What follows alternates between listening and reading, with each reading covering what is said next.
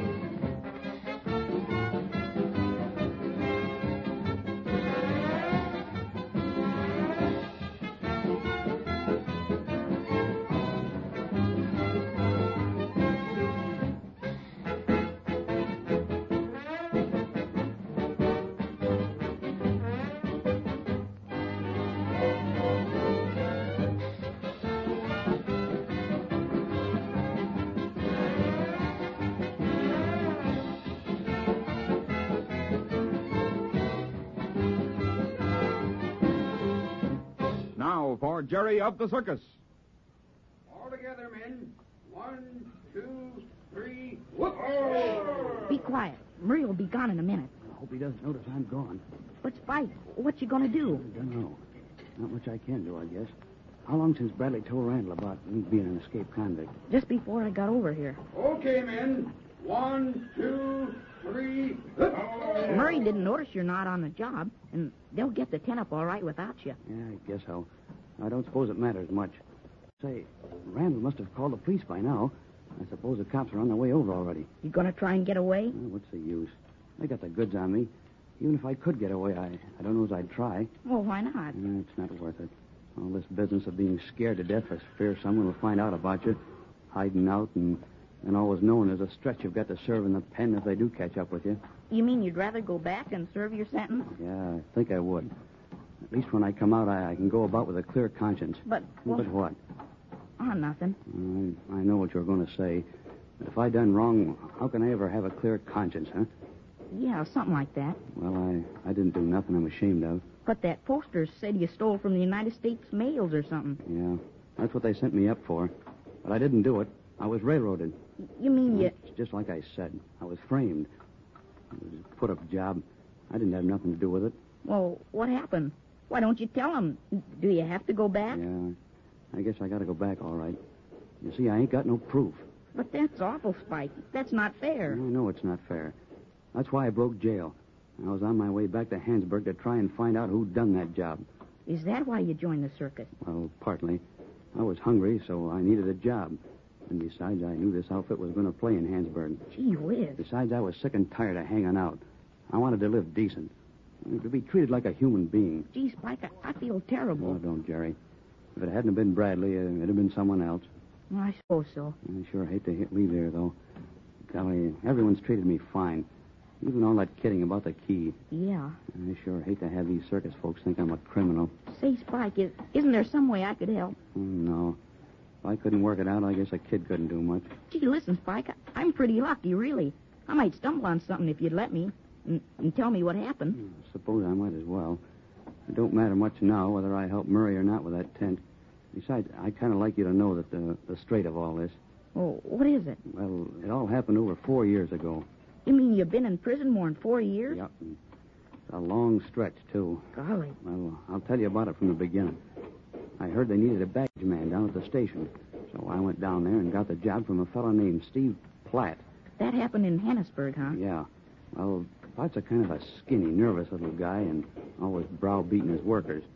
That's why the job was open. No one wo- would work for him very long. Was he mean to you? No, I guess he was kind of afraid of me, seeing as I'm bigger than he is.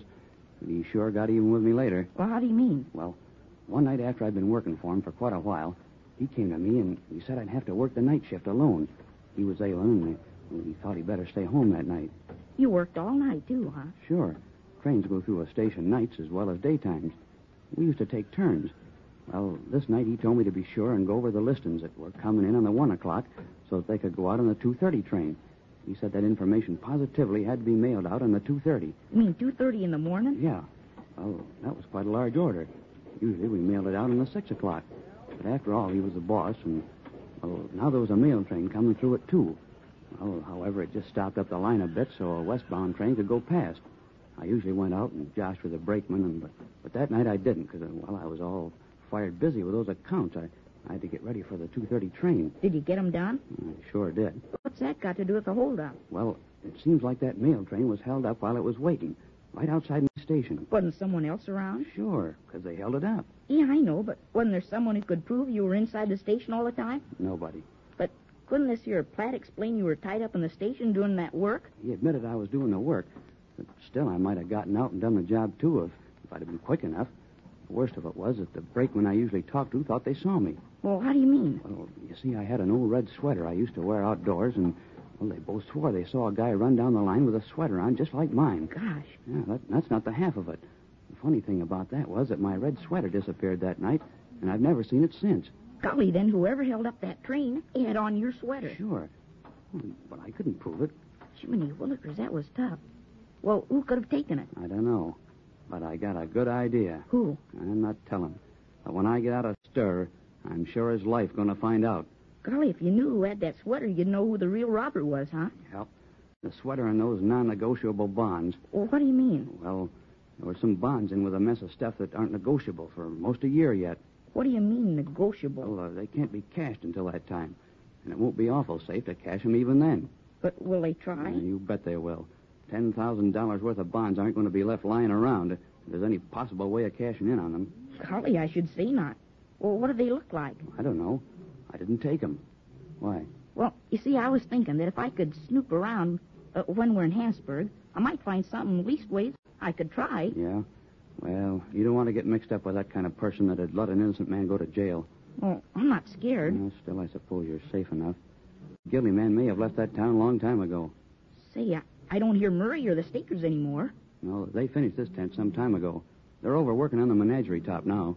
Gee, I, I was getting so interested I, I didn't notice. Golly, Spike, as, as long as you're innocent, don't you think maybe you ought to try and get away? And get you into trouble for tipping me off? I should say not. As a matter of fact, we, we may as well come out from behind this wagon. I'm not trying to hide. Say, here comes Mr. Bradley now with Yeah, those are the cops, all right. Well, so long, Jerry. You're a swell kid. Hope I see you again when I get out. I'll, tell you one thing, Spike. I'm going to do my best when we hit Hannesburg to try and find out something that'll help you. Oh, you're a grand kid, Jerry. But I think you'd better keep away from all this business. You're dealing with real criminals when you're dealing with men who rob Uncle Sam's mail. Gee, looks like they see us. Uh, the cops, yeah. Well, they needn't worry. I'm not going to get away. Hey, you. Your name's Spike? Yeah, I'm Spike, all right. But I hear you're looking for Max Peters. Wise guy, huh? No, I'm not trying to be funny. Don't feel so much like joking. I uh, don't imagine you do. Well, Mr. Bradley, this is the guy, all right. Hey, buddy, might as well come along with us easy like. We got you covered. Oh, don't worry. I'm not going to try and escape. You did once before, and it won't be easy to do again. Well, I'm not interested in even trying. Gee, Mr. Bradley, this is awful. He isn't even guilty. Yeah, tell that to the judge.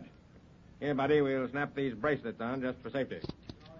Honest, I, I'm glad this is all over with. Mr. Bradley, Spike told me the whole story. He was railroaded into jail. He- He got out to try and catch the man who put him in. Someone else is guilty. Yeah, that's what they all say. Spike, before they take you away, I want you to know I feel pretty badly about this whole thing. No, not half so badly as I do. But I ain't blaming you, Mr. Bradley. If it hadn't have been you, it'd have been someone else. They'd have caught up with me sooner or later. You're right there, buddy. You can't keep away from the federal agents for long. Say, Spike, I just happened to think. If I find out anything, I, I got a lawyer friend that'll tell me what to do so I can help you. Oh, yeah. Well, that's swell, Jerry. Now, now don't go worrying your head about me. I'm going to be all right. You bet you are. Well, Mr. Medley, you'll be hearing from us pretty soon. What for? Well, there's a little matter of a nice reward coming up for whoever recognizes and turns in the convict. Golly, I, I forgot all about that. I don't want it. What do you mean you don't want it? I just don't want it, that's all. I turned this information in because it was my duty as a citizen, not for gain. Well, you haven't any objections to picking up a cool $500 as a kind of bonus, have you? I certainly have. I'm not putting a fellow creature behind bars in order to get some money for myself. Well, of all the dang foolishness I ever heard tell of. Say, if the rest of the people in this country were like you, we'd be in a pretty mess. Well, if you ask me, it'd be a pretty swell place to live in. Well, no one's asking you, buddy. Well, I'm going to talk anyhow. Listen, Mr. Bradley, I got you wrong. I thought of course you turned me, turned me in for the Oh, reward. my good man. I do what I think is right without being paid for it. Yeah. Well, I don't mind telling you, I feel a lot better about being turned in by you uh, on account of that. But you might as well take the money. Someone will get it, and well, you probably need it as much as the next one. I never heard of anyone who'd refuse a reward. Oh, the whole thing is very distasteful to me. I'll tell you what I will do, though, Spike, if you insist. I'll give it to my son and his fiancée so they can get married. They haven't had enough money, and this would just about set them up in housekeeping. Say, that's swell. I kind of like to be thinking of that while I'm back there in stir. Come on, buddy. We can't stand around here all day. We've got a car over there waiting. All right, I'm ready. But before I go, I'll tell you one thing, Jerry. You've helped me more than you know. I used to wonder what kind of business I'd really like to be tied up with when I was back there in the pen. I couldn't think of anything I really wanted to do, and well, now I know. You mean be with the circus? Yeah.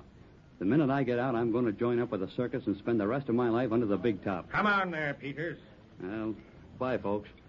I'm really proud to have known you. Goodbye, Spike, and I'm so sorry. Bye, Spike. Bye. Golly, I, I feel terrible about about Spike. I know, my boy. It is too bad, but justice must take its course.